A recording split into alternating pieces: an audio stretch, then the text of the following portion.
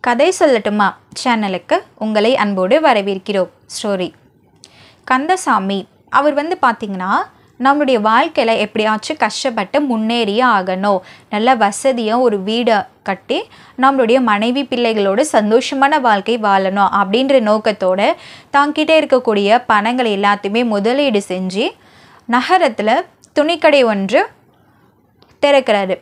அந்த நகரத்தில் வந்து பார்த்திங்கன்னா கந்தசாமியினுடைய துணிக்கடை மட்டும்தான் ஒரே ஒரு துணிக்கடையாக இருந்தது. அதனால் நகரத்துலேயும் அதை சுற்றி இருக்கக்கூடிய கிராமப்புறங்களில் இருக்கக்கூடிய மக்கள் எல்லாருமே வந்து கந்தசாமியினுடைய துணிக்கடையில் தான் வந்து துணிகள் வாங்குவாங்க. அதனால் அவருக்கு வந்து நல்ல லாபம் கிடைச்சிட்டு இருந்தது. அதில் நிறைய லாபம் கிடைச்சதால் அவர் நிறைய பணம் சேமித்து வச்சுருந்தார். சில நிலங்களும் வாங்கி வச்சுருந்தார். இப்படி நல்லா சுமூகமாக போயிட்டு இருந்த அவருடைய வாழ்க்கையில் திடீர் திருப்பம் ஒன்று ஏற்படுது. அதுதான் மாணிக்கம். மாணிக்கம் நகரத்தை சேர்ந்தவங்க அதாவது வெளியூரை சேர்ந்தவங்க அவங்க திடீர்னு அந்த நகரத்துக்கு வந்து கந்தசாமியினுடைய துணிக்கடை இருக்கக்கூடிய தெருவிலேயே அவருடைய கடைக்கு ஆப்போசிட்டில் ஒரு புதிய துணிக்கடை ஒன்று ஓப்பன் பண்ணுறாரு அவர் வந்து பார்த்திங்கன்னா வெளியூர்லேருந்து வந்ததால் நிறையா டிசைன் டிசைனாக புதிய ஃபேஷனில் இருக்கக்கூடிய ட்ரெஸ்ஸஸ் எல்லாத்தையுமே அவர் ஸ்டாக் போடுறாரு. அது எல்லாத்தையுமே பார்க்குறதுக்கு ரொம்ப அட்ராக்டிவாக இருக்குது அது மட்டும் இல்லாமல் அவர் நிறைய டிஸ்கவுண்ட்டு போட்டிருந்தாரு. இது எல்லாமே மக்களுடைய கவனத்தை அவருடைய கடை பக்கம் ஈர்த்துச்சு. அதனால் கந்தசாமியினுடைய கடைக்கு வரக்கூடிய மக்கள் எல்லாருமே மாணிக்கத்தினுடைய துணிக்கடை நோக்கி போக ஆரம்பிச்சிட்டாங்க. இப்போது மாணிக்கத்தினுடைய கடையில் வந்து நல்ல வியாபாரம் சூடுபிடிக்க ஆரம்பிச்சிருச்சு. எக்கச்சக்கமான மக்கள் வந்து அவருடைய கடையில் துணிகளை வாங்கிட்டு போனாங்க. மாணிக்கத்துக்கு கொள்ளை லாபம் கிடைச்சிது. கந்தசாமியினுடைய தொழில் மடிஞ்சு போச்சு. அவருக்கு த கடையில் எந்த ஒரு வியாபாரமுமே ஆகலை. ஒருத்தர் ரெண்டு பேர் தான் வந்து வாங்கிட்டு போகிறாங்க அதனால் அவருடைய கவனம் எல்லாமே மாணிக்கத்தினுடைய பக்கம் திரும்பிச்சு. அதுவும் கெட்ட எண்ணத்தோட பொறாமை எண்ணத்தோட. கந்தசாமிக்கு மாணிக்கத்தை பார்த்தாலே ரொம்ப பொறாமை.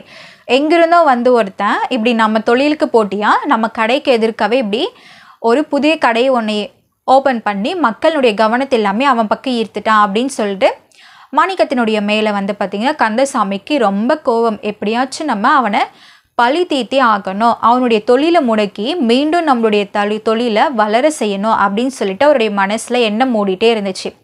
அதனால் அவரும் வந்து பார்த்திங்கன்னா தாங்கிட்ட இருக்கக்கூடிய பணம் நிலம் சொத்து எல்லாத்தையுமே வந்து அந்த தொழிலில் செலுத்தினார். அவருடைய கடையை வந்து விரி விரிவுபடுத்தி உலகத்தில் எந்தெந்த பல டிசைனில் இருக்கக்கூடிய ட்ரெஸ்ஸஸ் எல்லாமே அவருடைய கடைக்கு ஸ்டாக் போட்டார். ஸ்டாக் போட்டுட்டு நிறைய அட்ராக்டிவான திங்ஸ் எல்லாமே கஸ்டமைஸ் பண்ணிவிட்டு சினிமாவில் நடக்கக்கூடிய நடிகர்கள் எல்லாருமே வந்து திறப்பு விழாக்கு கூப்பிடுறாரு. இது மூலியமாக மக்களுடைய கவனத்தை வந்து தான் பக்கம் ஈர்த்துக்கலாம் அப்படின்ற எண்ணத்தோட அவர் இந்த எல்லா விஷயத்தையுமே வந்து செஞ்சார். ஆனாலுமே வந்து பார்த்திங்கன்னா அவருடைய கடை பக்கம் மக்கள் யாருமே வரவே கிடையாது.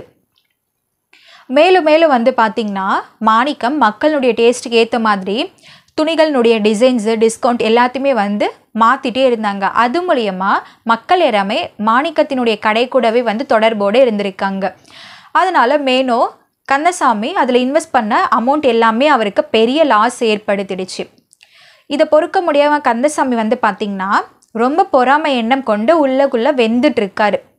அந்த பொறாமை எண்ணம் அவருடைய அறிவு கண்ணை மறைச்சிட்டு ரொம்ப கீழ்த்தனமான ஒரு செயலை செய்ய வைக்கிறதுக்காக அவருடைய மனசில் ஒரு யோசனை ஒன்று எழுப்பிடுச்சு. அதாவது அவருடைய கடை இருக்கிறதுனால தானே மாணிக்கம் வந்து இந்த அளவுக்கு வியாபாரம் செஞ்சிட்ருக்கான் கடையே இல்லாமல் செஞ்சுட்டானா? அப்புறம் அவன் எதை வச்சு வியாபாரம் செய்வான் அப்படின்ற எண்ணம் அவருடைய மனசில் தோன்றிடுச்சு. அதனுடைய விளைவை வந்து பார்த்திங்கன்னா கந்தசாமி சில வெளியூர் கூலி ஆட்களுக்கு வந்து பணம் கொடுத்து மாணிக்கத்தினுடைய கடைக்கு வந்து தீ வச்சு எரிக்க சொல்லிட்டாரு. அவருடைய வார்த்தை கேட்டு பணம் வாங்கிக்கிட்டு அந்த கூலி படையினர் வந்து பார்த்திங்கன்னா நைட்டோட நைட்டாக யாரும் இல்லாத நேரத்தில் மாணிக்கத்தினுடைய கடைக்கு நெருப்பு வச்சு எரிச்சிட்டாங்க. காலையில் விடிஞ்சது வந்து பார்த்திங்கன்னா மாணிக்கத்தினுடைய கடை எரிஞ்சு எல்லாமே சாம்பல் ஆயிடுச்சு. துணிகள் பணம் எல்லாமே வந்து எரிஞ்சு போயிடுச்சு. அவருக்கு மொத்தமாக லாஸ் ஆயிடுச்சு. அப்படின்ட்டு கந்தசாமி நினச்சி ரொம்ப சந்தோஷம் அடைஞ்சிட்டு இருந்தார். இனிமே மக்கள் எல்லாருமே பழையபடி தன்னுடைய கடைக்கு தான் வந்து துணி வாங்க வருவாங்க. அது மூலியமாக நம்மளுடைய வாழ்க்கையில் மீண்டும் முன்னேறிக்கலாம். நம்முடைய பழைய வாழ்க்கைக்கு இயல்பான நிலைக்கு திரும்பிடலாம். அப்படின்ற எண்ணம் அவருடைய மனசில் போயிட்டு இருந்துச்சு கொஞ்ச நாள் அவர் நினச்ச மாதிரி வந்து பார்த்திங்கன்னா அவருடைய வியாபாரம் நல்லபடியாக போயிட்டு தான் இருந்துச்சு. ஆனால் அவர் கெட்டது செஞ்சார் இல்லையா? அதில் அவருக்கு ரொம்ப நாள் அந்த சந்தோஷம் நிலைச்சிடாது அதாவது மாணிக்கத்தினுடைய பேரில் போலீஸில் கம்ப்ளைண்ட் கொடுத்துருக்காரு. என்ன அப்படின்னா சில விஷயங்களை சுட்டி காட்டி தொழிலில் வந்து கந்தசாமிக்கும் தனக்கும் வந்து கருத்து வேறுபாடுகள் இருக்குது அதனால் அவர் தான் வந்து தன்னுடைய கடையை வந்து எரிச்சிருப்பார் அப்படின்ற சந்தேகத்தின் பேரில் அவர் கம்ப்ளைண்ட் கொடுத்துருக்காரு. போலீஸும் வந்து பார்த்திங்கன்னா அது நல்லா ஆராய்ஞ்சி விசாரித்து பார்த்ததில் அந்த கடைக்கு நெருப்பு வச்சு கூலிப்படையினரை வந்து கண்டுபிடிச்சு அரெஸ்ட் பண்ணிடுறாங்க. அரெஸ்ட் பண்ணிவிட்டு அவங்கள வந்து கஸ்டடியில் எடுத்து விசாரிச்சிட்ருக்காங்க அவங்க எவ்வளோ விசாரிச்சுமே வந்து அவங்க சில நாட்கள் வந்து வாங்கின பணத்துக்கு நேர்மையாக இருக்கணுன்றதுக்காக வாயவே திறக்கல. ஆனால் ரொம்ப நாள் போனது வந்து பார்த்திங்கன்னா அவங்களுடைய ட்ரீட்மெண்ட் வேறு மாதிரி போயிடுச்சு. அவங்க அந்த அடி வலி தாங்க முடியாமல் கந்தசாமியினுடைய பேரை வந்து சொல்லிடுறாங்க. அதுக்கப்புறம் போலீஸ் வந்து கந்தசாமியை வந்து அரெஸ்ட் பண்ணிட்டு போயிடுறாங்க. அவருடைய கடைக்கு சீலும் வச்சிடுறாங்க.